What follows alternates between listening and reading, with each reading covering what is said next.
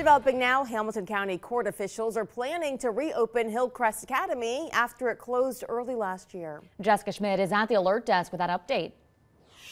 So the residential treatment program has been closed for several months now. Hillcrest was at the center of an abuse investigation earlier this year when Francine Thomas, who worked for Rites of Passage, which was contracted to oversee the services, is accused of having sexual contact with a minor at the facility. That led to children being moved out of it and eventually the academy shut its doors.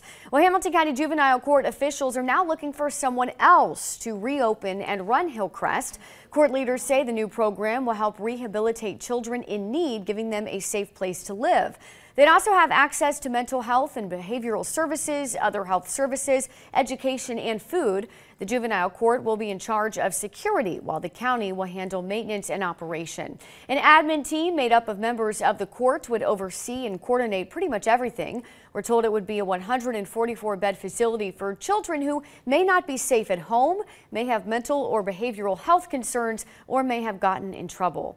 Officials will soon be looking over some proposals from possible providers. They hope to reopen Hillcrest by the fall of next year. At the alert desk, Jessica Schmidt, Fox 19 now.